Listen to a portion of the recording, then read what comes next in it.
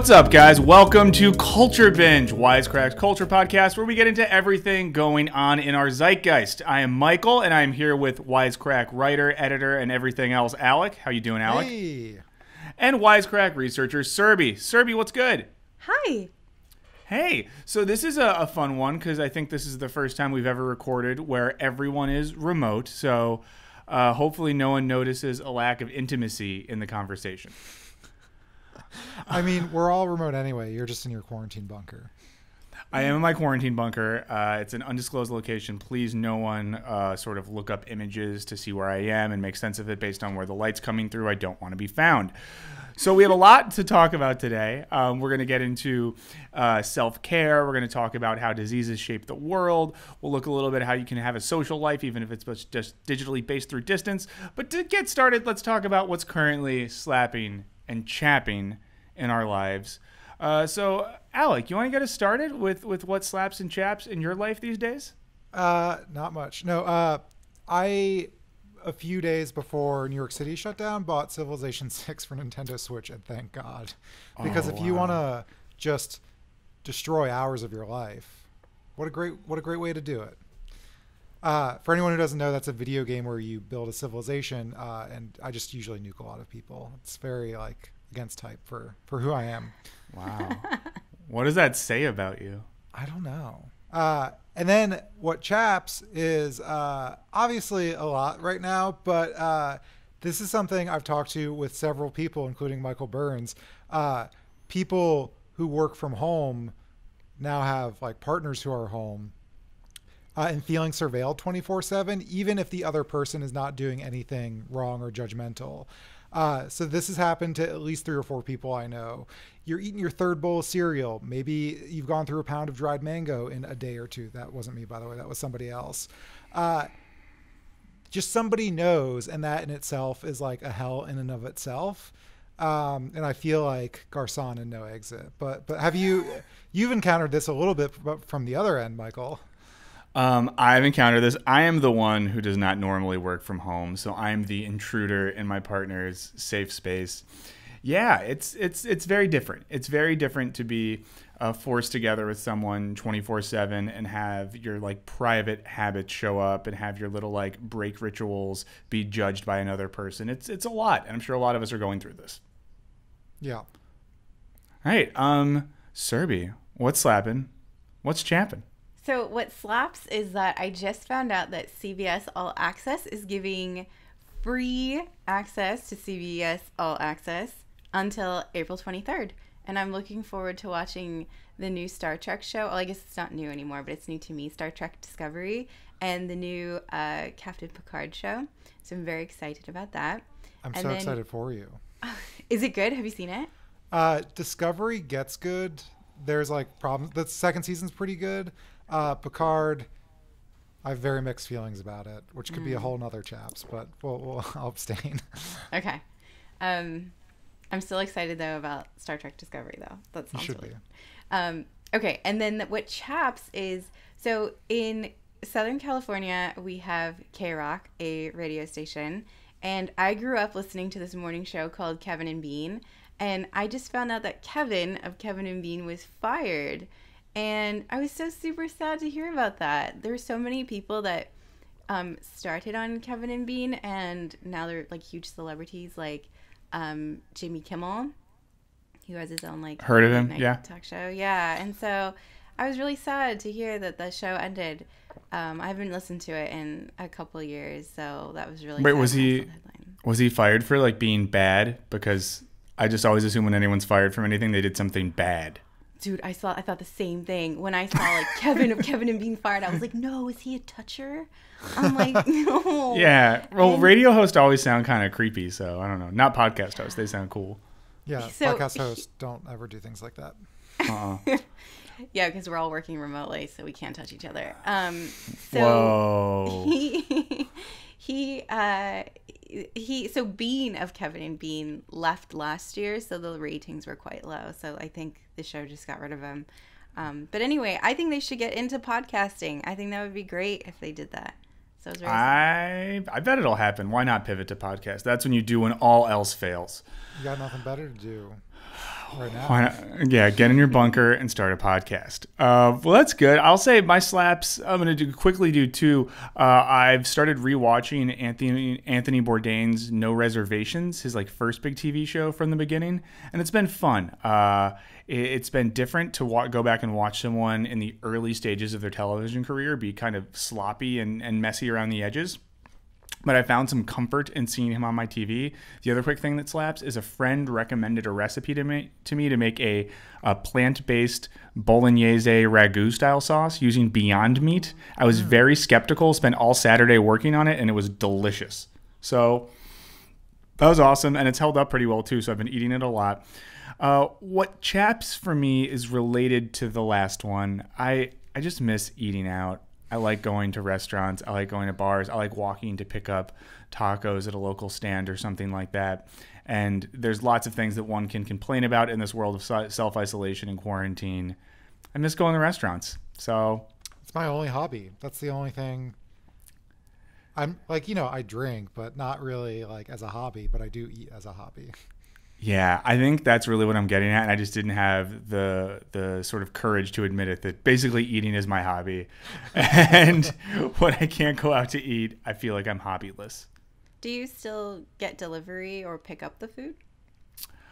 I have got we got delivery once in the past week. I will say I'm not going to say who, but someone who's not me that lives in my house of two is a little more scared slash nervous about getting delivery in this time.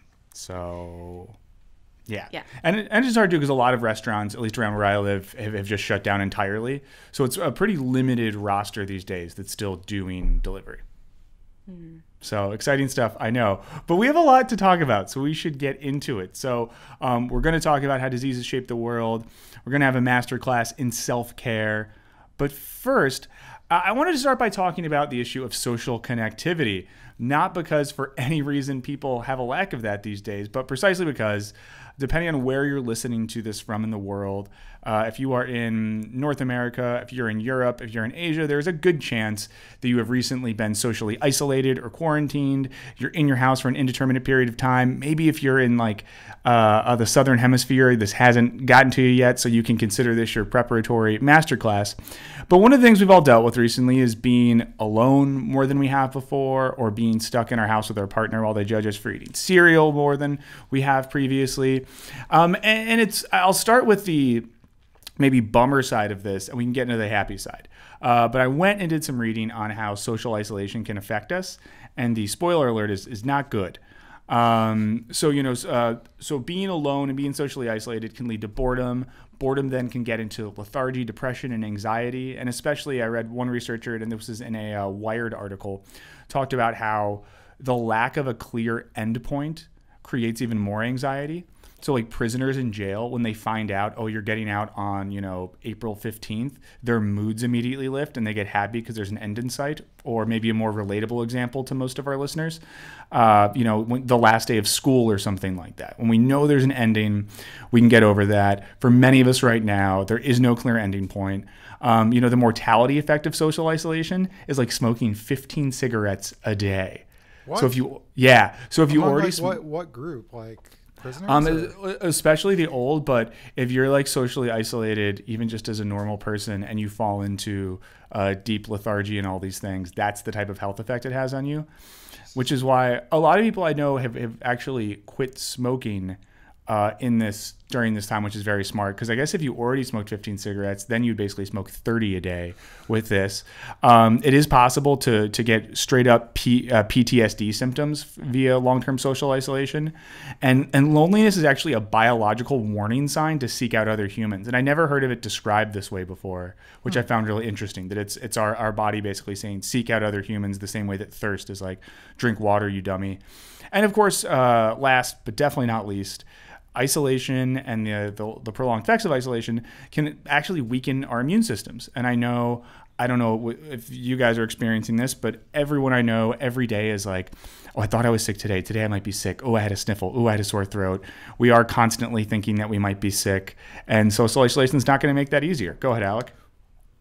I, I do think there's a caveat to that in that I was uh, previously in a similar situation where like I couldn't be sick with someone I knew whenever I was visiting them, they have a compromised immune system. If I had a cold and gave it to them, it would be very bad. And every time I had to hang out with that person, it was like, ooh, I don't know, my throat's itchy. Like, Yeah. yeah, I sneezed five hours ago. What if what if this is a cold? And so now I'm dealing with the exact same thing every time. I'm trying not to go out, but you know, like uh, exercise still allowed, so I'm going on you know occasional walks like every other day. Uh, but I'm just like, am I am I sick? And I'm like taking my temperature. Thank God I have a thermometer. Yeah. Otherwise, I probably wouldn't have left the house in two weeks. But uh, yeah, and so when you say social isolation, though, these are not studies about kind of like what's happening right now. This is like true disconnect from all human interaction. Um, yeah, so so things like either elderly people that are living alone for extended periods of time. Uh, we got people in prisons, um, astronauts, which is a relatable scenario. Um, but but the studies range from you know people that simply just live alone and aren't connected to other humans to people that live in space. Um, and, and and the resources, and I can post these links later. Um, but recently there was articles on Wired, uh, the New Yorker, and the New York Times that all came out in the past 48 hours on this topic. Pretty easy to find. So if anyone wants to look that up and fact check me, I dare you. Um, now, of course, that's the bad stuff. The the good stuff, the positive stuff is is what can we all do right now?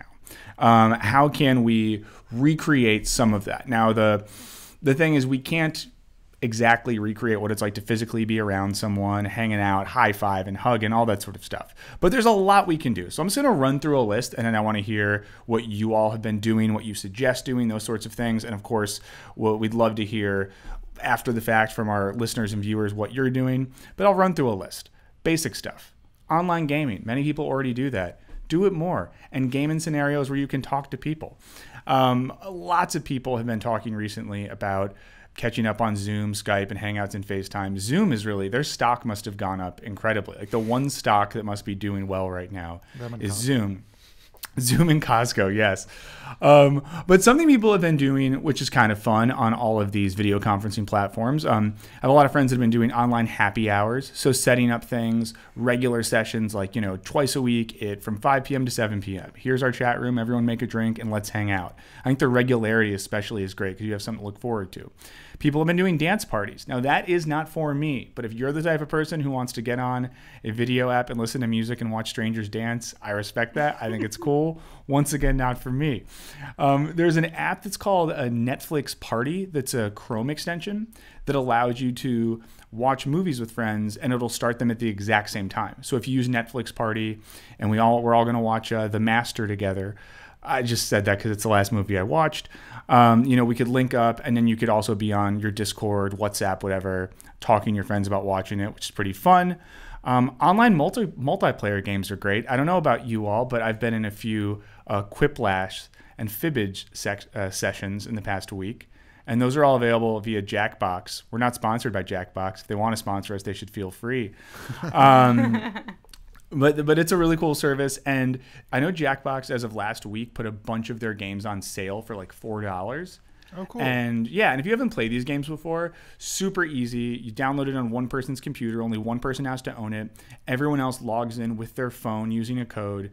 And then the move is you, you get on Hangouts. Everyone can talk to each other, joke around. You play the game. It's very fun. I would say the most the most like engaging social life I've had in the past two weeks was having six friends on a call and playing Quiplash for a few hours. Very fun. Um, a thing my partner's done that I haven't done is starting a book club with old friends. So she linked up with some high school buds. They got on a call and they're going to start reading a book together. Uh, almost done here. Uh, well, second to last thing, you could work on a creative project with friends. Maybe you and a bud have always wanted to write a comic together, or you thought it'd be fun to write a silly movie or, or make some music together. Find a creative project that you can work on with other people or by yourself. It's something to do. The last thing, and something I find fun, do you all know what couch tour is? No. no. So it is a trend that, that got started a few years ago in music, uh, in which this company, the main company that does this, is called Nugs. Kind of a gross name for a company. Sounds Um, like a weed service. It's yeah, well, it sounds like weed stuff, but then it, it also makes me think of poop. I'm sorry, it just is the case that those are the two things the word nugs make me think of. Uh, but they started recording these really high quality um, concert videos of live bands. They broadcast live, they record them, they have them on a service, and a lot of bands now are releasing concerts for free. very high quality. So, for example, last Saturday, a band I'm embarrassed to love, but I love, Dead and Company, the recent iteration of the Grateful Dead featuring John Mayer. Uh, they're putting out a new show every Saturday night. So me and two friends that like that a lot watch the show together, um, talked throughout it just like you would at a real concert, not paying attention to the music. Uh, but a lot of people are doing that. Um, last week, Willie Nelson put together a streaming concert with tons of different artists that included Woody Harrelson and Paul Simon singing together outside in Hawaii.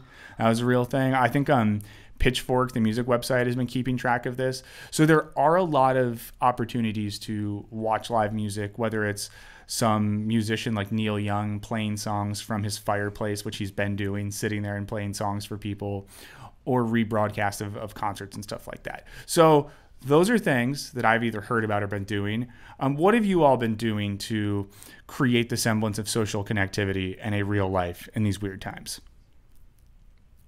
So, um, my life hasn't changed very much from like, this is pretty much my life. Uh, so, um, I I don't I'm not struggling with it at all. I mean, I do like Great. to go out to like the store or like walk around and stuff like that, but I I don't really engage with other humans ever.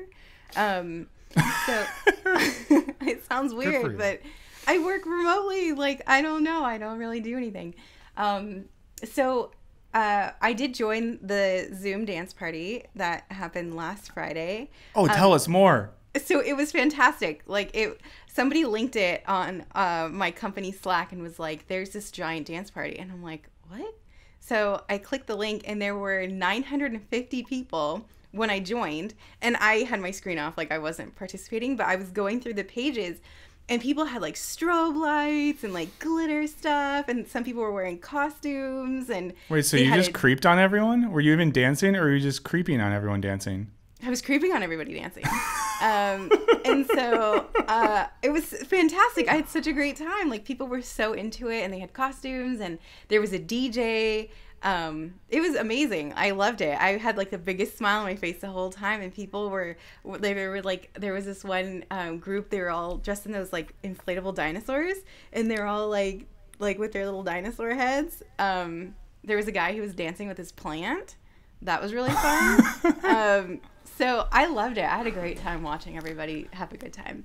Um, Wow, you should participate next time. I think that's Next time. you kind of. I think I feel like you broke the social contract there. I did, yeah. yeah, yeah, yeah, It was a little too voyeury, um, but next time I'll I'll join in if they do another one. Um, but one thing that I heard that was kind of interesting is um, I heard of a, like people like either couples or like singles or whatever they'll cook the same meal and then have dinner together over Zoom and like talk about the meal that they created and pretend like they're at a restaurant. So maybe that could fill the void for you. I just already through like you know how people's lives flash before their eyes when they die. Uh, What flashed before my eyes when you said that is me and my partner trying to do that. Me finishing dinner first, and us having a fight when she's like, "Well, we need to wait till till till Kathy and James are ready," and me being like, "What? I'm gonna eat cold food. I work all day. I'm stuck inside, and now I have to eat fucking cold food." So I will never do that, but I'm glad that people are. Um, Alec, what have what have you all been doing to to to keep life going? Or are you also just really leaning into this and enjoying the hermit life? Well, part of my life hasn't changed because I also work from home, but you know, part of the reason I maintain my sanity is by like going on regular walks and like scheduling things outside of the house and hanging out with people. Um, although I do have a, a shut-in tendency, as I've talked about before, uh, but it's really like actually I'm spending more time with my friends than I ever did. Um, I think for like a variety of reasons. One is there's like a lot less conflicting plans. Uh, So, for instance, you know, like a lot of my friends, we talk about like, oh, we should like play uh, video games online together, but like someone's working, someone's with their girlfriend, whatever. Uh, well, one of those friends, and I feel awful about this, but like they're unemployed now, and the other one who's always visiting his girlfriend can't. And so we just like played video games for four hours last night, uh, and you know talked on Discord. and it was- awesome. It was, great. Um, but on the other end, like uh, I did a, a virtual trivia night where like uh, you know I, I do bar trivia is one of the things that I do a lot, um, and it was just a small group of friends and we were each a team and uh, I think we all Venmoed the winner two dollars or something like that. Nice. Uh, and so that was a lot of fun and I'm going to be hosting more of those with like different groups of people. But like I've talked to other people, you know, people who don't talk to family members that often are like on the phone all the time talking to their family members. I've been talking more to my family, which I'm uh, historically awful about, like calling both of my parents. Uh, so I've been doing that. Uh, so it's weird, like in spite of all this, like my social connectivity has like actually gone up. I still feel awful because I'm like not leaving the house and all that other stuff, Yeah. and it's not the same as being in the same physical room uh, as a person. Um, but there, like a weird silver lining of this catastrophe is that that there is that kind of connectivity, and it kind of reminds me of you know, when the internet was new, everyone was like super excited about the promise of the internet. Like people can mm-hmm. find communities, it'll bring people closer together. They'll have an unprecedented amount of access to like information, and all that went wrong, right? Like the unprecedented amount of information you had access to turned into like fake news and ant flat earthers and shit like that immediately. You, you know, the community building just turned into like weird echo chambers forming. But now I feel like the stuff about hosting online trivias where like people don't have the same sort of mobility that that was like I feel like the dream of the internet initially, uh, and now we're actually doing it. Or like internet dance parties. Yeah. I mean, that's something I'm wondering, and this is something maybe that I don't want to bleed into a potential other topic we have, but I've been wondering what will, what might stick around after all of this is said and done, how we might be like rehabituating ourselves to using the internet in the ways that we all thought we were going to use it, you know, 15 to 20 years ago. So we will see if any of that happens. But yeah, and I, I think the same like you said before. I've been talking to friends so much more than I have, and talking to family more than I want to, but you feel like you have to. Um, so it's been fun, and I would say too, not that this is really a as much of a social thing, but um, yeah, we should all like take walks and exercise if you can. I know that stuff's boring and sucks. Um, if you are an exercise person, I know I've tried some of the online workout videos, and there's so much stuff on like YouTube. So even if you have 15 minutes and no weights, um, some guy with a shaved head with a name like Blaine will yell at you and tell you what exercises to do. There's good yoga stuff online. Of course, taking walks is nice. And one thing I found, I don't know if you all find this when you take your walks. I found like in the past 10 days, there's this cycle that's happened of I would go on walks, you know, 10 days ago, and no one knew if you at like what it meant to social distance. And some people would still walk right by you. And then I would like swerve away, but I would feel bad. Like someone thought I didn't want to see them in particular. Um, and then I felt like maybe five days ago, people started social distancing, but they didn't really look at each other. There was like a sense of shame. But yesterday, I went on a walk, and it was the first time, like, you know, whether I swerved into the road or the other person did, we'd look at each other with this kind of like, what are you going to do? Um, and that made me happy. Like the little bit of, of the acknowledgement of like, this is weird, but we're in this together made me feel very nice. I, I really, I really liked that. And I, I hope that we can all get there and no one should feel guilty about walking around someone. It's, it's, it's, it's a way to show someone you love them, if anything. Yeah. Um, any other final thoughts from anyone about social connectivity? Because that's all I got.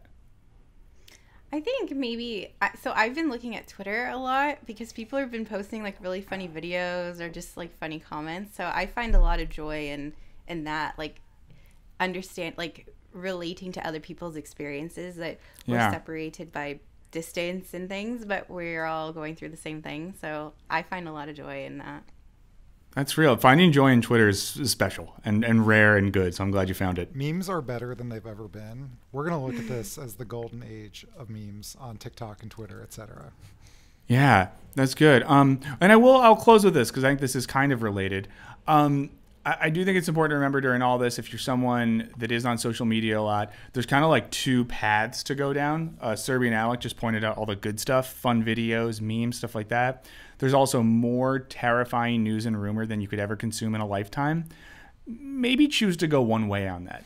Maybe choose to have fun right now and remember that if we're being responsible, we're social distancing, that's truly all we can do. Uh, unless you are an epidemiologist or a doctor or a grocery store worker or someone who's on the front lines, if you are, awesome. We appreciate your service. You're the fucking best. But if you're just a normal schmuck like the rest of us, you, it doesn't make you a better person to be uh, chugging news down your gullet 18 hours a day. Feel free to enjoy fun memes online and, and, and have fun gaming and all that sort of stuff. You're not Dan Rather. You don't need to know all the news. Just enjoy your life while you can. Um, sorry, I'll get off my soapbox, but I feel like I it's think important that's to say that. advice though, because I I do think people are getting stressed out, and it's not going to do you any good. Yes, and I once again I say this as someone who my tendency is to consume every bit of news and and get obsessed with things, and it maybe has led to me not feeling so great. So don't be like I'm, me. I'm actively not telling you things because I think it'll freak you out. Oh, I appreciate that so much. I think a couple people in my life, I've had a few texts in the past days that are like, "How are you feeling? Can you handle hearing something?" And I'm just like, unless it is What a anecdote about mean? Are Jimmy you in the Buffett. mind space to accept this information at this moment. Oh yeah, that was so good. Um, oh, memes, memes, memes, memes, memes are great. Uh, okay, so that's that's all I got to say about social connectivity. Uh, we'd love to hear what you all think about this, and we can we'll give you our contact information later. But Surbhi, feel like you are going to enlighten us to the joys and importance of self care. Am I right? Yes, hopefully. So let's get into it. Yeah. So, uh, I mentioned in our last episode that I'm going through breakup and it's quite devastating. And I reached out to Jared actually on a recent tear filled Friday night. And I asked him um, something like, When will I stop feeling sad? And he um, talked to, about the importance of self care. And for those of you who don't know, self care means paying attention to your psychological and physical wellness. And so when he said that, I was like, oh, like self care. That's right. I mean, he didn't use those words, but it was like in a larger discussion of things that he was talking about. And then uh, my mom had also told me that I wasn't doing any self care. And I realized that that had been having significant detrimental effects on my overall well being. And it sometimes I think in times of stress and crisis, it's it's hard to see how your state of mind and your experience or feelings are affected by how well your basic needs are met. And it's important to take care of yourself because if you don't, it's hard to bounce back and be resilient. So, I've been trying to do mindfulness and meditation because it has been shown to slow brain aging and decrease stress hormones. I've been trying to sleep better.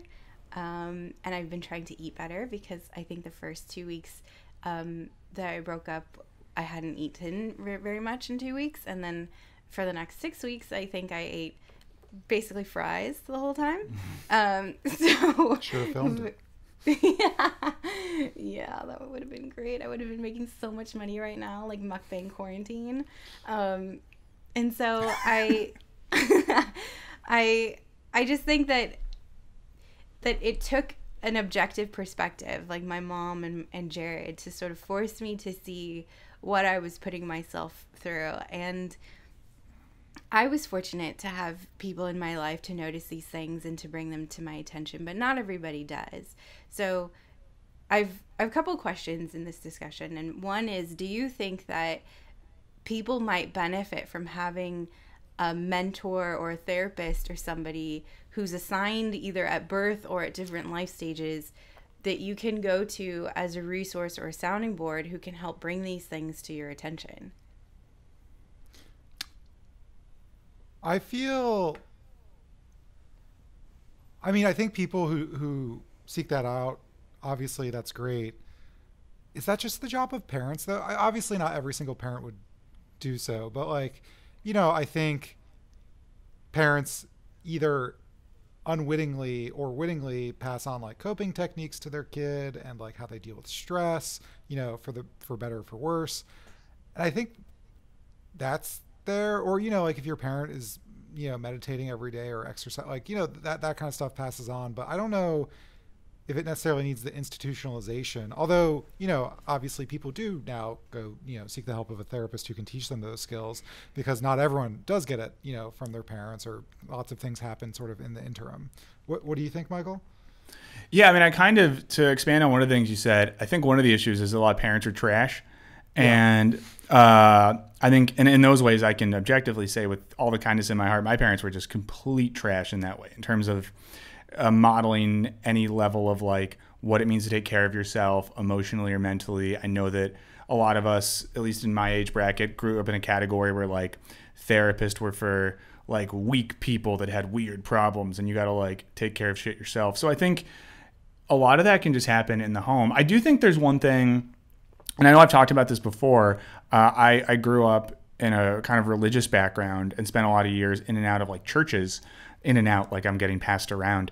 Um, but but I think one good thing about that life is I remember times in my life where there was like a young priest or someone who I could like talk to about stuff that wasn't apparent. And I was lucky, you know, and I'm sure when I say I talked to a young priest, people listening are thinking bad things, but like I was lucky enough to only ever interact with pretty cool people in that environment. So I think that it's good to have, whether it's teachers or coaches or religious figures or whoever, but ideally, right? Like, let just people should be good parents and, and pass on those skills in a helpful way. So when I'm thinking of like a mentor or somebody, it's somebody who's like trained and has like um like evidence-based, research-based techniques that they can pass on Mm. because um I was talking to a friend of mine who just broke up with her fiance and Oh, she was shit. telling me that her yeah, and she was telling me that her um her mom was telling her uh, she and her fiance they'd been dating for they'd been together their whole relationship they've been together for over 10 years and so her mom i think was telling her to start dating again like very quickly after the breakup. And i didn't think that was great advice because i mean it seems like my friend is still struggling with coping with the with that breakup and that loss. And so i thought like it would be so nice to have somebody that you could turn to and it it, would be like a like just a resource that's available to everyone because not everyone has health insurance or has great access to care like that and there's could be a stigma like a cultural stigma depending on where you live or your family or something. It would just be nice if it was normalized for people to just go to talk to you to say like i'm going through this breakup or i have a really shitty job. Should i quit? Like something that people Yeah, can this- turn to This makes me think of I don't know if y'all have heard of uh, the the French psychoanalyst Jacques Lacan. So uh, so he's this French psychoanalyst, big deal. If you've ever listened to uh, Show Me the Meaning, you've heard Austin talk about him a lot. Um, but one of the things he did, so he's this French psychoanalyst, kind of like a weird lefty dude. But his brother was a Catholic priest in France. So something that, like, yeah. So this psychoanalyst, what he was obsessed with was the idea that psychoanalysis was a sort of secular confession um, was a space where anyone could go to kind of talk, to explore their unconscious and their desires and their emotions. So what he did is he said to his brother, "Hey, bro, can you hook me up with the Pope? Because I want to talk to them about." making like this a part of like a secular liturgy. And they worked with the french government as well to try to make that just like a thing that everyone had access to. Now it didn't work out. The pope didn't say yes french psychoanalyst uh, jacques lacan make your practice a part of the roman catholic church but it's an idea that I've always found really interesting that there should be some sort of secular space of of like confession and openness that we all have access to. And it sounds like that could tick some of the boxes you're talking about, Surbhi. I think the I think the only thing like when it comes to not everyone can, you know, afford to see a therapist and stuff, like I think that access is important, but the I guess like in an institutionalized setting, and I, I guess I'm just imagining like a, like a government program or a nonprofit. I mean, we've talked in this episode, uh, sorry, not in this episode, in the show before about how mindfulness and mindfulness in general is like great. It helps a lot of people, but it's kind of weaponized by corporations to say, uh, "Hey, you're overworked." Uh, that's not our fault. This like here are the coping skills you need, and I feel like if you filter through people's problems with their job, with their relationship, with whatever, uh, even in terms of self care, it'll get sort of filtered through like the mandates of either like business or, or the government or anything like that. And so that's why, like, on the one hand, I'm like, yes, people should have access to therapists. They should have, you know, uh, all that stuff, possibly some sort of like confessional situation. But I just wouldn't trust like any singular organization to administer it, I guess. Yeah. And that's the hard thing with all this because I think we've talked about. I feel like this is something we've come back to a few times in different topics. Is you know things that help us out in terms of like psychology, emotions, and self care are good when they're primarily focused on us. Risky when it's about making us better workers and preparing us better to be like the cogs in the machine. Yeah, and this is a little bit different than the institutional thing, but like self care is a concept that I think is really important for a lot of people, and I'm not shitting on it. But I think all of us have noticed the ways in which like horrible narcissists have also weaponized it. Um, and like a great example, I was there's a, an amazing article. Uh, God, I can't remember what it was in, but about the Wing, uh, which is this like co-working space. For Oh yeah, was it the New York like- Times thing? yeah it's all about Yeah. like empowering women and like you know self-care is often used uh, in that context but in this case self-care was like rich white ladies yelling at like minimum wage paid staffers because they didn't have enough champagne or the beauty bar ran out of like the right makeup and, and granted like not everyone talking about self-care means this obviously this isn't Surbhi's idea uh, i need to yell at a restaurant worker to feel good about myself but i think I don't know. Like I, the the concept always makes me nervous because I'm like, yes, but also this is where this easily leads, unless like we sort of have this like holistic understanding of it. And I've even had a kind of uh, debate in my head because, you know, at home all day I'm getting my groceries delivered and just buying dumb shit that I don't need, like chocolate bars or God knows what. And I'm like, you know, self care, treat myself, whatever. And my debate is, oh, am I supporting the struggling restaurant industry and like, you know, keeping them in business and all that good stuff? Or am I just being a consumerist monster? The answer is probably both. I'm being a consumerist monster and also hopefully when I ordered $30 worth of stuff from the bagel place, keeping them in business. Wow. no, but I, I think that's a really. Go ahead, Surbhi. Oh no, no, I was going to pivot to ask the next question. I'd love to hear your comment. Oh no, I was just gonna say uh, that I think that is an interesting point that gets brought up about how we use self care because I think I'm gonna say this this author's name wrong and I'm so sorry. Is it Audre Lorde? Is that how you say it? I think it's Audrey. Audre Lorde, yeah. So I know that I feel like Audre Lorde is the person who is is is at least given credit for developing the idea of self care, but something that you know one of the reasons she developed the idea was about women who are like activists, putting their lives on the line, spending all this mm-hmm. time fighting for equality in all these ways, and self care was like. After you've been putting your life on the line to fight for others for two weeks, maybe take some time to yourself. And there was some criticism initially that it was like well off people that were like took the day off work to bat, take bats and watch TV or whatever. And it was kind of like that's not what that means. So I think there is that line as well. Like you know, Surbhi. Obviously, you're talking about going through a situation, and I think uh, a breakup is a heavy thing to go through, and people should spend time doing that. But yeah, there's that line. It's like stolen valor. I think that like you know if if you if you were going to talk about self care, you need to have gone through a little bit of shit at least, and not just like th- th- you need it in normal life. But maybe that's me being harsh. Surbhi, get to your next thing. I'm sorry that I stopped you. So I'd love to know what you two do for self care. I buy Oh food. boy. Uh, well, one thing that I think, you know, somebody asked me the other day, Alec, what's your work from home routine? You've been doing this forever. Unfortunately, all of those things that maintain my sanity, as I've mentioned, I can't do. Leaving the house several times a day, going on walks, you know, going to the gym, exercising, all that stuff. Um, but at least now, I'm trying to exercise from home. I'm lucky enough that I have um, like I have a, a bike, but I have like a little trainer so I can pedal in place, uh, which makes a lot of noise and probably drives my downstairs neighbor insane. Um, and you know, like different sort of like sit ups, push ups, yoga e stuff uh, on like a yoga mat. Uh, and so, absent like actual exercise is just great for your mental health. Uh, and so like whatever amount that you can do, like I think it's just about like getting your heart rate up and working your muscles, whatever uh, degree that means. Uh, it's just really good for you. So I think now especially, like I'm trying to to keep that routine going. Um, other than that, it's truly I'm shopping for groceries. Oh, I haven't tried this weird dessert that is on sale. Self care, baby. Treat yourself. Nice.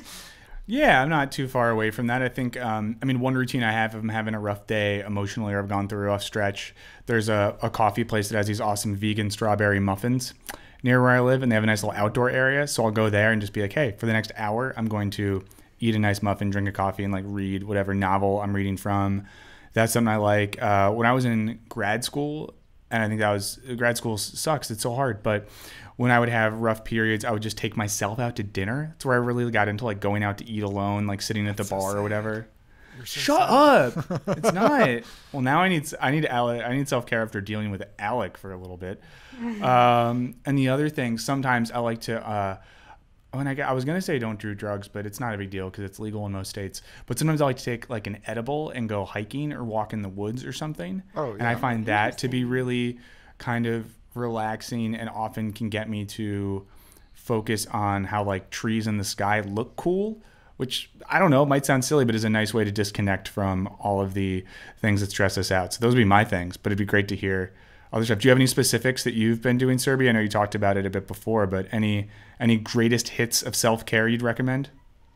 So I've been uh, exercising. I've been trying to eat well and sleep better. Um, I also have been trying journaling, which Jared recommended. Um, that's been helping a lot.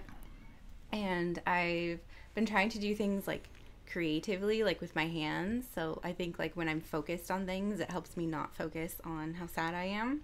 So I'll like try to fix something. Like if there's like something broken around the house, I'll like try to figure out and like look at YouTube videos, and that gives me like a sense of accomplishment. Um, I also take really, and this is horrible, I know, because we're kind of still in a drought in California, but sometimes I take really long hot showers. Um, mostly just like Wow. like put my face under the hot water and like this way I can't feel the tears running down my cheek. I can just be like Surbhi, that was too real. I just got to say it. I'm just going to say that was too real, and I'm going to say we're you know it's we're all going through a lot, but that was one of the realest things I've heard in a while. And anyone who's listening to this, I don't know, that was a lot. I appreciate your, your candor. That was so much. Oh, Um, So I think for anyone listening, um, some like basic self care techniques would be like engaging in pleasant activities, like things that you like and bring you joy. Um, I know that it's hard to get outside right now, but if you could like stand in the sun, maybe might be nice, or just making sure that you do like basic hygiene stuff is really great. I think some people who are in distress sometimes neglect things like that, especially if they're depressed or anxious. Um, so that could be helpful. Um, doing art is might be nice. Mindfulness and meditation is good, or like guided imagery. Um, there are a lot of different things, and I encourage everybody to take some time to do self care. You said one thing that I just wanted to like add a quick note to, but I think the sense of accomplishment is really important, and I think bullshit jobs another thing we've talked about talks a lot about this about the joy of being the cause and bullshit jobs deprive us of that. But i've also been trying to i think it varies for, for people like for me a sense of accomplishment if i watch a movie that's like in the canon of like movies i'm supposed to have watched like oh like i've accomplished that finishing a book or uh, i started doing like a geography quiz game uh, but what sick. doesn't give me that is playing civilization for six hours but uh, yeah Nice. Um, well, thank you so much for bringing that topic up. Thank you for being so so vulnerable and real. And I'm glad that we know now that, that Jared's the person to go to for advice. So everyone, um, we'll give you Jared's address at the end of this, and you can just show up, and he'll help you. Um, so away, now that we, away. yeah, yeah, from six feet away. But now that we all feel really good and positive, Alec is going to destroy that by telling us how diseases shape our world. So Alec, let's get into it. Yeah, so uh, I've been reading a lot about diseases even before all this, uh, and now I feel like, uh, oh boy, I have like a way to, to funnel all this information. Uh, but I'm really interested in the way diseases just historically have really, like, we often think about history being shaped by people and movements and things like that, but sometimes it's just shitty microbes that are killing us all and you know how people react to them and i mean there's some obvious examples whether it's culturally geopolitically but you know the the hiv epidemic in the 80s had long lasting repercussions uh, i don't have a source for this but i imagine it put the final nail in the coffin for sort of ideas of free love uh, you know just if it weren't for that, we our, our sexual culture would probably be much different. Um, an example people probably don't know, and I don't think I've brought this up before, or maybe in some context, uh, the reason that makeup products are marketed as milky. Surbhi, have you encountered that word a lot? Maybe not. No, I haven't. Well, I, then again, I don't wear a lot of makeup, so milky white skin, all of these concepts, they come from actual, like the reason we use the word milk is from actual milk maidens, people who, or women who milk cows. And it was because smallpox was going around scarring everyone's faces for life. Like lots of, most people were exposed to smallpox before there was a vaccine for it. I believe George Washington had some scarring going on. Uh, and the only people who didn't have scarred, fucked up faces were milkmaids. And the reason was because they got cowpox from cows, which is a it's a like cousin of smallpox, and this much more milder disease would give them immunity from smallpox. So, if you were looking for a fair-skinned woman back in the day, you had to go to the, the nearest barn and find a milkmaid. She's immune. And this is how we figured out how to inoculate people against uh, uh, smallpox. Knowing that, uh, they started expanding the process to like other people uh, and exposing people to cowpox. And then they got the idea of, you know, exposing people to smallpox and all that.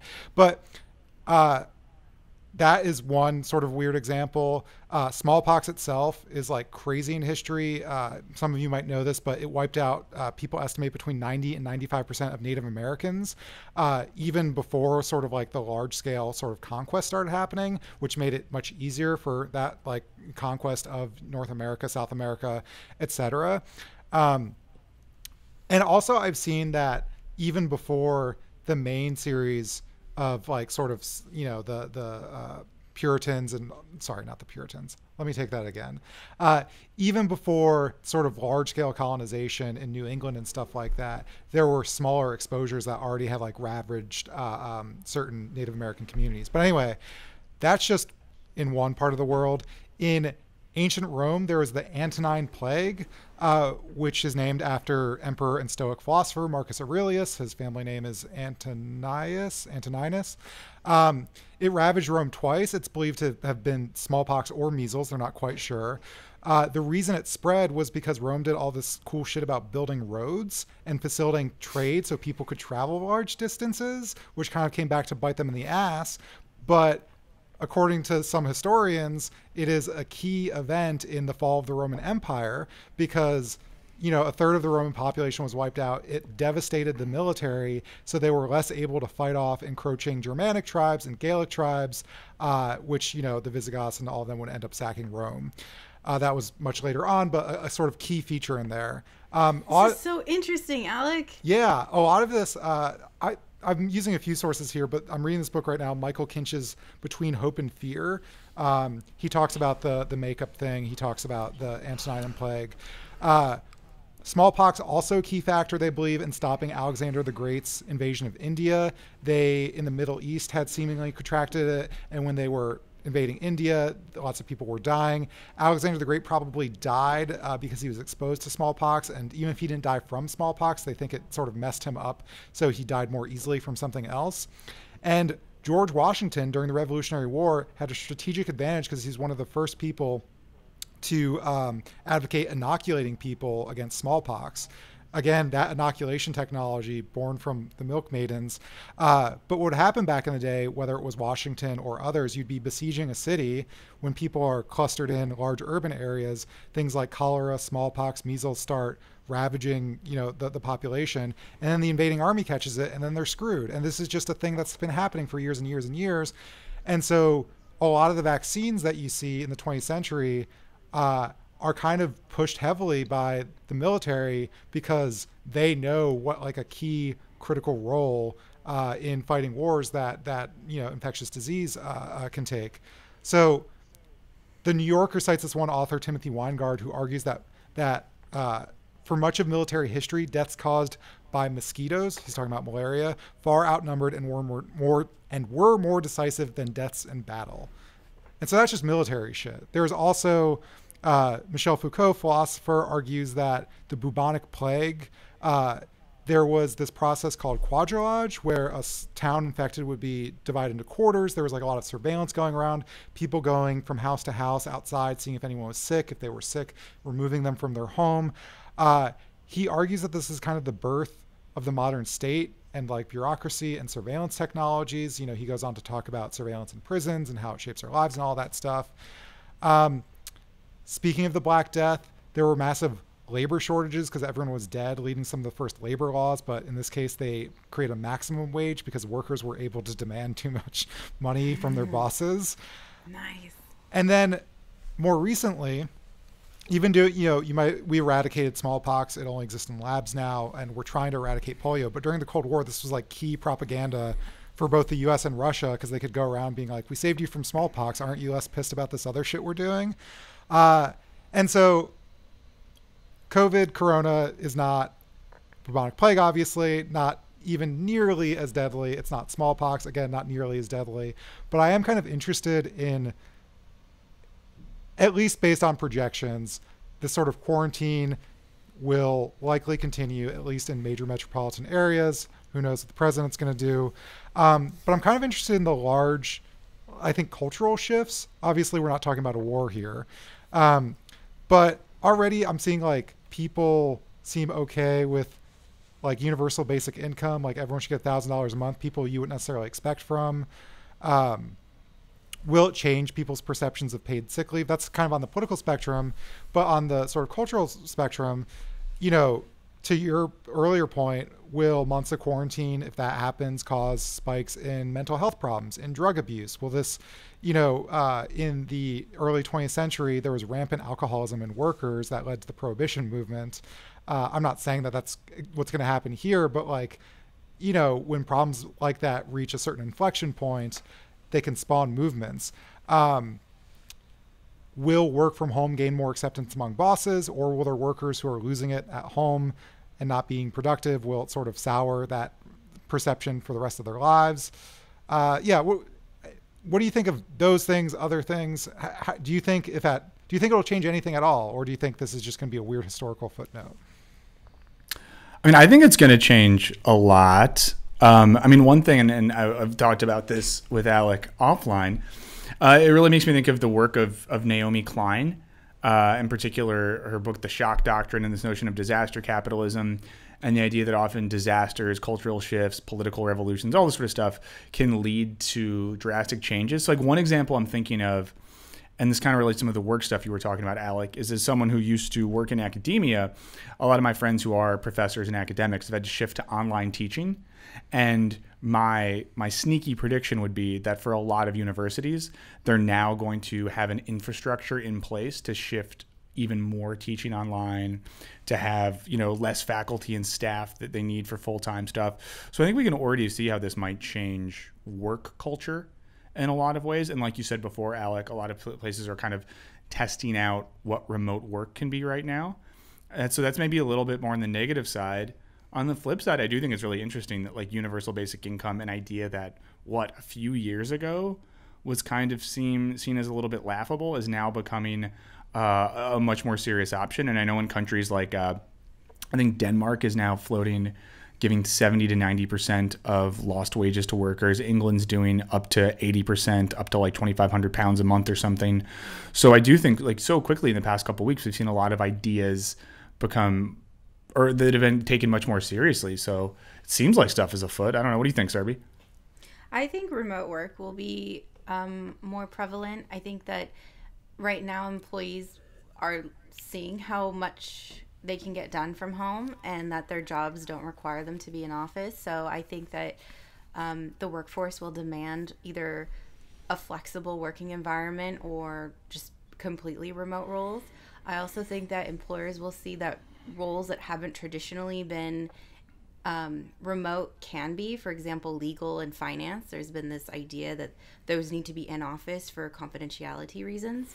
Um, and I also think that well, I hope that there will be a, a decrease in polarization and an increase in generosity, um, in compassion, and, and just altruism because there's been so much tension over the past few years that it would be nice to look past our differences now and to see that we have a common enemy. And I mean, I mean, it seems weird to that microbial shit, but but like I I just think it would be nice for everybody to have something to rally or rally behind and to sort of see that at the end of the day we're all the same and we're all just trying to live and be the best we could be. So that's what I hope will happen. I also hope that um, people are cleaner and start to wash their hands more. And I hope especially hope after they poop, Michael. Especially after that, there's why does everyone reason. think I don't wash my hands after pooping? Because you don't. You were like a really strong like you were just it's like very strong wipe. and like it's a clean wipe and that's part of their narrative and all of this like that a clean like wipe personal... is is is the best thing you can do it's the hole in one of pooping but keep going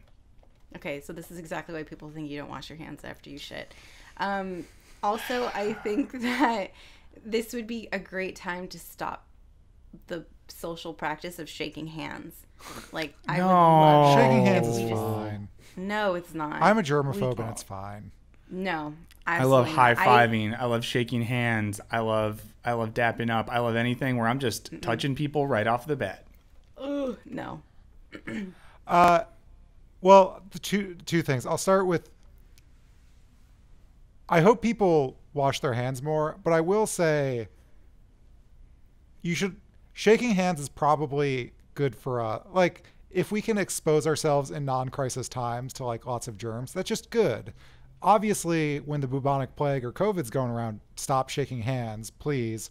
Uh, but on the sort of unifying theory, I don't. I'm sorry, Surbhi. I don't think that's going to happen. You still think it's gonna happen? no, people. First of all, there's there's two things. People want to scapegoat people as much as possible, and I have this desire to as much as possible to be like that guy who got on the JetBlue flight after he knew he had COVID. He's the real enemy. I I, I said that, uh, and so we're just gonna find reasons to like blame certain people for shit. Um, You know, whether it's like a country or a group of people or a specific person. Um, I, I don't see an end to that. Although I did see an article and I didn't read it, but some studies show that during crises, uh, most people take on pro social behavior, which means that I think we have this idea that when disaster strikes everyone, it's war of all against all, everyone's looting, everyone's doing this. But for the most part, obviously we see those people, but for the most part, people tend to be helpful to their fellow humans. And so maybe that will happen. But I don't think the large divisions in our country are going to be healed by this disease. By COVID. Yes. No. Yeah, because I mean the small examples. Uh, which bum me out are in, in terms of like cultural shifts. You know, we had to shut down all the beaches and parks in Los Angeles and much of California because dumb idiots were still like going to the beach and hiking and being around each other. So that's an instance where I felt I feel like people's selfishness was on on high alert. The other thing, this is kind of related. No one should be hoarding groceries. It's really stupid that we still can't get things. We have food, and I think that's an instance where it bums me out because you could see all these examples right now where we could come together, have solidarity, have a sense of social cohesion based on this. But people do just want to do themselves so much and do themselves. But you know what I mean. Uh, so I do worry about that. I want uh, what I'm saying is I want Surbhi to be right. I worry she might be wrong. We all want Surbhi to be right. I always want Surbhi to be right all the time. Well, Um, most of the time. most of the time. Oh, is it? Are you talking about the tipping thing? Yeah, that's exactly what I was thinking about. I, I Oh, I was, forgot that. I hate her because of that. I forgot that you are an enemy of working people. Shit. No. Um, yeah. I mean, one thing too, even like, so Alec, a lot of your examples are about uh, culture and politics in this really immediate sense. I think we're in an interesting era where our culture might change a lot. Because, you know, things like right now, uh, t- TV and films aren't getting made. There's no movie theaters. So now we're releasing movies to streaming, like things like uh, like The Hunt and Emma and some other movies that are coming out soon that were going to be theatrical are now getting released in that format. Um, musicians aren't able to tour and make money that way anymore. We don't have live comedy right now. So I think we're, we're seeing a lot of cultural changes, and I'm curious to see how those last. Because I think, for example, like I think we might now just have a regular thing where a lot of theatrical releases are available online if we want to pay a certain amount of money. That might not have been the case before this. Yeah, and I think I wonder uh, some of the cultural changes will happen through uh, like for business reasons. Like theaters are already struggling. Will there be a percent? And you know, it's the sort of death of the theater going experience has been something that, like for instance, Jared's always complaining about. Uh, this might be the nail in the coffin for a lot of theaters, right? They can't, you know, depending on how long it goes on, maybe they just don't reopen. So like there is this sort of slow process of it, the decline that's kind of ramped up, or you know, I'm imagining there's a lot of restaurants that just like might not open up again. Now, I don't know if that leads to Yeah. a cultural shift per se, like cinema does, but it'll be interesting. Yeah, um, I I think it's going to be weird, weird to see. Um, a- any other thoughts on this, Alec or Surbhi, or do we want to play Nostradamus a little bit more and predict other cultural changes? Or I just hope that whatever happens, that we keep the Zoom dance parties going. Wow, yeah, maybe I'll really, keep calling my yeah. parents regularly.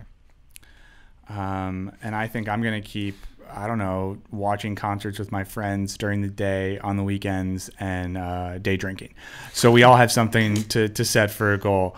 Um, so but before we wrap up, um, we want to hear from everyone who's listening to this right now, um, and especially some of the topics today. I think we'd really love to hear um, y'all's takes on this, what you're doing to self care, what you're doing to stay connected, and how you think our culture might change. So hit us up as always at culturebinge at wisecrack.co. No M. Culturebinge at wisecrack.co and, and call us. We're talking about the importance of calling people you love. You probably love at least one, maybe two of us.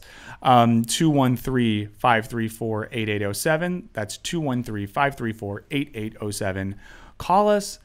Let us know. Let us know how you're doing. Let us know what you think about these topics. Let us know things you'd love to see us talking about during this time. Because, of course, uh, our culture is changing. So we'd love to hear topics you might want to hear us talk about. But in the meantime, I think we're going to hear from someone who gave us a call after our last show, whose name is Logan. Uh, and we're going to hear what, what, what he has to say. Uh, hi there, this is Logan calling in regards to the most recent Culture Binge episode, uh, specifically about the topic of communal living. Um, I wanted to call in because uh, I'm someone who has recently moved out of their parents' place and am now living with uh, five other roommates. I got a couple integrated couples in there as well, so the house is populated, and it is fantastic. I love being able to have my friends that I can go talk to and have my own private space of a room where I can be by by myself. And I would absolutely hate the idea of living alone or with one other person and not having the ability to have dinner with people. Um, I also wanted to talk about some of the historical context uh, real quick. Um, you said that, I, I think Michael said that this is a weird American thing about living alone, and it is, but specifically, it happened um, post the Great Depression and post World War II, uh, where the idea of the nuclear family started. Um, before then, in America, it was still very common to have an intergenerational household as well as being able to live with friends without that being stigmatized. But again, due to a lot of cultural changes in the 40s and 50s, and that being just long enough ago for us all to think it was natural, um, that's kind of the development of the nuclear family and the sort of stigma about living with friends. I just wanted to share my thoughts. You guys always say you love hearing from us, so thank you for all your work and take care. I should say that was pre-boomer. Now that I heard the timeline better, but boomers, yeah, really something. I don't know. Yeah. What a cool what, What- a cool what a- voicemail. That's Yeah, what you want. was You want you want personal anecdotes and you want historical context. Logan knocked it out of the park. That was Um, yeah, I do wonder how, how much Logan's gonna like living with all these people because it sounds like it's a relatively new thing. I'll be curious to hear how that progresses over time. great. Logan, Um, give us another call and update us about your social isolation with, with or not social isolation, but you're you're quarantined now at home. I mean, maybe the best time ever to start living communally because now you're Yeah. you're stuck with a little crew. That sounds fun. Yeah, let us know. Yeah. Um, well, thanks, call, uh, thanks Logan for calling. Alec, did you have a thought? Uh, no, but I have some emails uh, about. Oh, I didn't know we had emails. I'm so sorry for for for forgetting that. Let's get into it. Uh, yeah, we got some emails about online dating and also about houses. I will start with an email from Kartik. Hi, Wisecrack. Just wanted to email about the episode around buying a home with a group of your close friends. The first thing that came to mind when you mentioned this topic on the pod was Epicurean communes, where the basic idea is that the true path to happiness involves living a simple life, which with work which makes you feel like you are contributing to the greater good and nourishing relationships with your friends. Epicurus quote unquote achieved this by living out in a commune with his students' friends. They each had their own quarters but with common areas. They took jobs that were more fulfilling, even though they would get paid less, and also focused time on self reflection and writing down their thoughts. Do you think this is the kind of thing that these tech bro houses are trying to achieve? I think that's not what tech bros are trying to achieve. But I think I love the Epicurean example. I once spent two weeks of my life living in a makeshift Epicurean commune at my friend John's house in the Netherlands. And we just like got up and had breakfast together, sat outside and read books, took breaks to talk about ideas, and then went out and walked around and drank at night. And it felt really ideal. So I think that's cool. I don't amazing. I don't think that's what the weird like tech dorm communes are. I think that's a way for corporations to make a lot of money by making people live in college dorms. Yeah, I think what they're they're going to market is kind of the promise of not necessarily in an Epicurean sense, but like the promise of community, the promise of kinship, all this. But really, it is like I think the things that bond communities is who's going to do the dishes, and we're going to build a system, and there's like shared responsibility, and people take care of each other, and instead it's we hired a maid so you can be a monster. Yeah, I mean, I think like the, the little inside baseball for the listeners. Uh, a month ago or so, uh, Wisecrack had to move into a shared working space for a little bit. So we were in a WeWork in Los Angeles that, of course, has this like communal ethos, blah, blah, blah. But no one talked to anyone else. Like everyone just walked around with their headphones, ignoring everyone else. I think we have one coworker, I won't say their name, who was kind of social and talked to other people. But I think that shows you like you put a bunch of millennials together in a space and they're just like AirPodded out the whole time avoiding eye contact. So I don't think we're getting an Epicurean commune in uh, these co-living spaces, sadly. But that was a great email.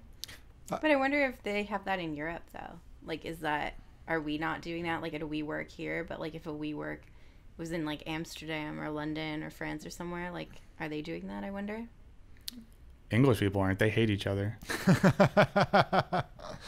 uh, yeah, I don't. I don't know. I also feel like these spaces try to build that sense of community by, oh, dorms do this. Also, I call it mandatory fun. I was an RA and we were trained Mm. to have to do this, but like throw around the ball and name a fact about yourself, which I hate so goddamn much. But anyway, I feel like we work and these other places are trying to do that, but nobody cares. Yeah. Anyway, the last email we have is from Michael, not to be confused with. Not me. Yeah, that'd be funny if you were just emailing. He'll, you'll never read my emails. I write them every week. Uh, this is about online dating. Hi, Culture Binge. I'm here to spread a word of hope to Jared, who you know was having some dating problems last time he was on the show. I've been single for just about six years with a tumultuous relationship with Tinder and never gotten a date. People shut down the conversation really quick, or are really just shallow in their conversations, or simply seem too desperate. They want just anyone, not me, which has led me to feeling upset. I'm a nerd, dungeon master for D&D, raid leader in WoW. Those are some good credentials. I love books, movies, and shows, so I am a creative soul looking for someone who gets that. But I am also on the autistic spectr- spectrum, socially awkward, and had a stroke eight years ago at the age of 18. My looks aren't top 10% either. Even if I do have days where I feel handsome, I am not a traditional catch, basically. But I would but I have been adamant in my search that I wanted someone that suits me and I wouldn't settle for less than a partner that might last me for life. And just this week, I connected with someone coming back after another Tinder hiatus. We've connected over an axe murderer joke and plan to compare axes on our third date. yeah. It has taken, what a great email. It has taken a long time, but finally I really connected with someone. There's still hope. Our first date is due this Saturday, so wish me luck. And they sent this, I think, before that. So, Michael, I, I need to know how it went. This is great. I, I mean, I think, I think it's great you keep putting yourself out there. Uh, the only thing I might say, and I don't even think you're doing this, is I do feel like people have this tendency to try to hold out for who they think is perfect and not sort of open themselves up to someone who might not be. That being said, like as a as a dungeon master, if you meet someone who berates you for having a cool hobby like being a dungeon master, you can obviously filter that person out. But yeah, just be like open to to new kinds of experiences, but I'm like it's so I think uplifting to hear that you're just like persevering through the nightmare that is online dating. And also, I will say as an update to Jared's love life, I'm just I'm gonna keep it vague. It's going well. Uh, there there's a person. I don't want to divulge too many details, and they found each other at a good time because, yeah. Hmm. Uh, but yeah, Michael, thanks for that email. I hope the date went really well on Saturday. And a second, Alec. Um, yeah, look for people that you have the same interest with. But all I'll say is, is I'm, I'm currently uh, engaged with and live with someone who I have very few things in common with, but we love each other and it's great. So you never know. You never know. But that's awesome. Um, is that all for the emails today? That's all we got. Awesome. Uh, this has been a fun ride. So, once again, please get in touch with us. As Logan said at the beginning of his voicemail, you always say you want to hear from us. And Logan and Michael and everyone else, we're not lying. So, culturebinge at wisecrack.co, uh, 213 534 8807. We talked about a lot of stuff today. We'd love to hear your takes on all of that. So, before we go, Surbhi, people are listening to this podcast. They think I want more Surbhi in my life. Besides giving them your address and social security number, where can they find you? Suri Patel 22 on Twitter. Great. Um, Alec, besides trolling the streets of Brooklyn, waiting to see you ride your bike past them, where can people find you? Please don't do that. Uh, I'm on Twitter at wisecrack Alec. My tweeting has gone up exponentially. Still not a lot, but I'll, I'll say I think Alex had some really great tweets recently. So if you're not following already, what are you doing? Follow him. Um, and if you Thank want to stalk me, my address is no, I'm kidding. Uh, you can find me at Michael O'Burns on Twitter. And then I'll, I'll plug this. Recently, I, I used to run a, a live comedy show with my buddy Sean. We can't do it anymore, so we switched to Twitch. So uh, twitch.tv slash Godsey Burns. We're going live Tuesdays and Fridays. We have some fun guests. So uh, come hang out there if you want a live comedy talk show right in your living room. You can watch in your underwear. Um, but that is all for us. So for Alec and Surbhi, I'm Michael. This has been Culture Binge, and we will see you again in a couple weeks. Later, guys. Bye. Bye.